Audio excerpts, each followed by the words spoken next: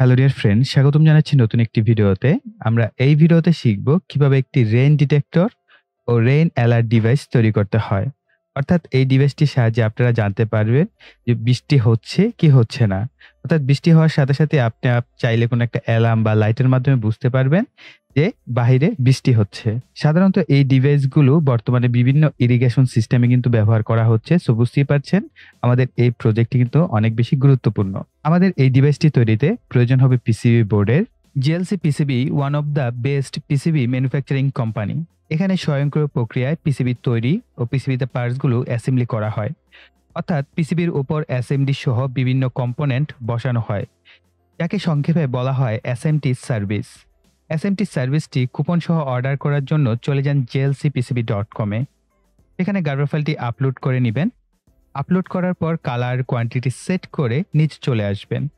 এখানে একটি অপশন পাবেন এসএমডি অ্যাসেম্বলি অপশন এর পাশে যে কুপন অপশনটি আছে, সেটি অ্যাক্টিভ করে দিবেন। এসএমটির কোয়ান্টিটি সেট করে কনফার্ম অথবা নেক্সট করুন। দেন বুম এবং পিক অ্যান্ড প্লেস ফাইলটি আপলোড করে নিন। দেন নেক্সট করুন। কম্পোনেন্ট সিলেক্ট করে নেক্সট করুন।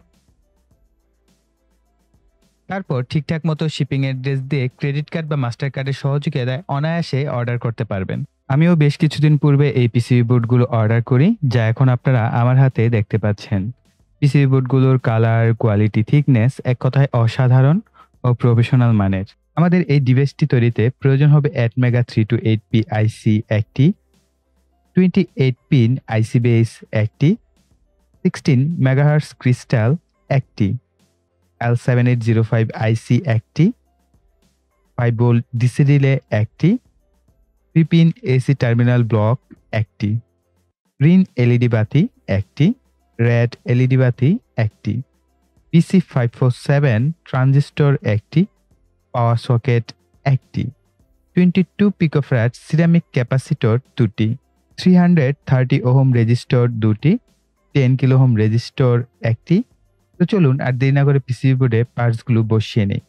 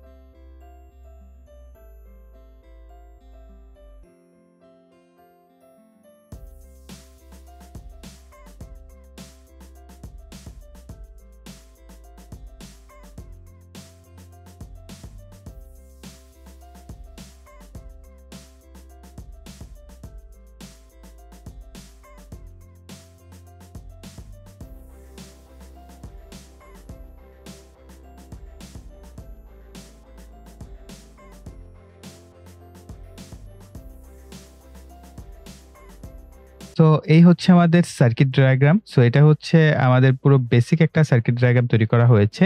তো এখানে আপনাদের কিছু বিষয় মাথায় রাখতে হবে। আপনাদের আরডিনো উনো যে বোর্ডটা আছে, সেই বোর্ড অনুযায়ী আপনার এই আইসির কোন পিনটা কত কাজ করছে। যেমন আমি একটু বলে দিই, আপনারা এখানে দেখতে পাচ্ছেন তেইশ নাম্বার পিন থেকে এখানে আমরা হেডার কানেকশন করেছি।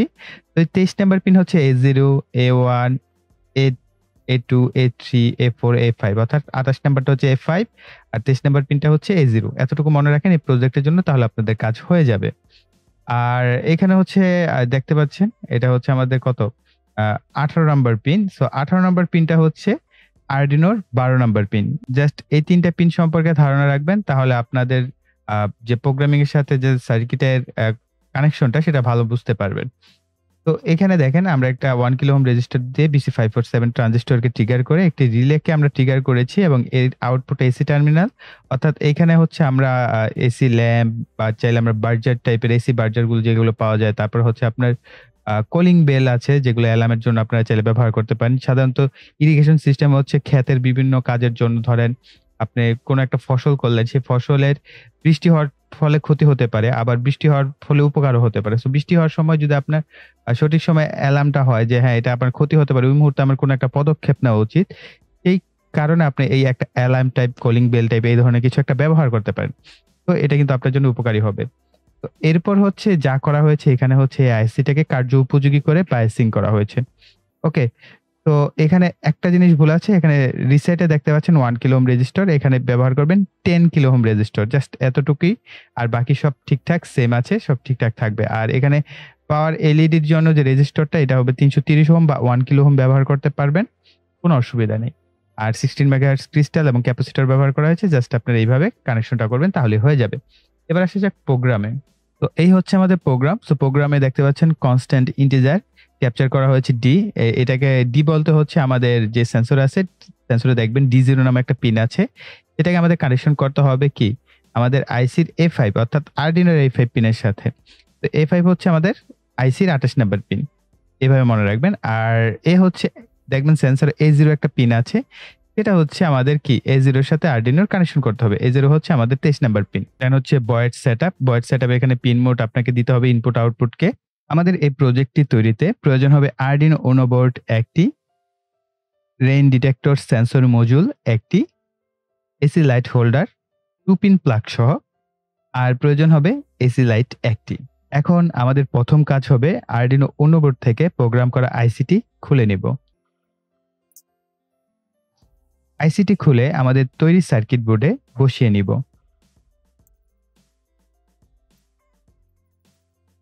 এরপর রেঞ্জ সেন্সরের বিসিসি এবং গ্রাউন্ডকে প্লাস ফাইভ ভোল্ট ও গ্রাউন্ড পিনের সাথে কানেকশন করব। সেন্সরের এ জিরো পিনকে আইসি টোয়েন্টি থ্রি নাম্বার অর্থাৎ তেইশ নাম্বার পিনের সাথে সংযোগ করব এবং ডি জিরো পিনকে আইসির আঠাশ নাম্বার পিনের সাথে সংযোগ করব। এবার রিলের সাথে এসি লোডকে সংযোগ করে নিব।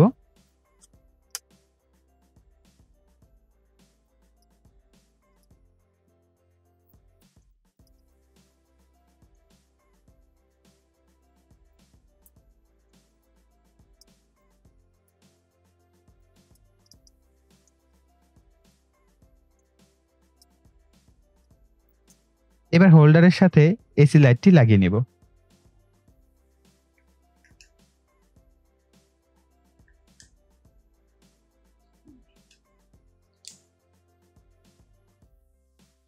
নাইন ভোল্টের একটি ব্যাটারি থেকে সার্কিটে পাওয়ার সাপ্লাই দিব।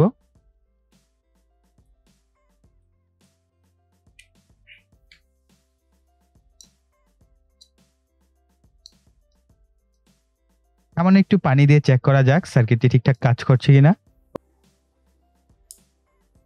ওকে রিলে যেহেতু ট্রিগার করছে, আমাদের সার্কিট ঠিকঠাক কাজ করছে। এবার এসি লাইটের জন্য আমরা এসি সাপ্লাই দিব। তবে এই ক্ষেত্রে আপনারা অ্যালার্ম বা কলিং বেল টাইপ এই ধরনের কোনো কিছু যদি ব্যবহার করেন, তাহলে বেটার আউটপুট পাবেন। তো এবার আবার একটু পানি ফেলে সেন্সরের উপর দেখা যাক।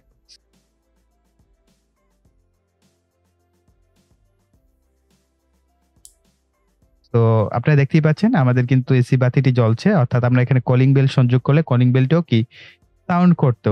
অর্থাৎ বৃষ্টি আসা মাত্রই আমরা বুঝতে পারব যে আমাদের বাইরে বৃষ্টি আসছে এবং বৃষ্টি শেষ হওয়ার পর অটোমেটিক কিন্তু আমাদের এই বাতিটা বন্ধ হয়ে যাবে। সো বুঝতেই পারছেন, আমরা রেন ডিটেক্টর বা রেন অ্যালার্ম টাইপ আমরা কিন্তু একটা ডিভাইস নিজেরাই তৈরি করতে পেরেছি।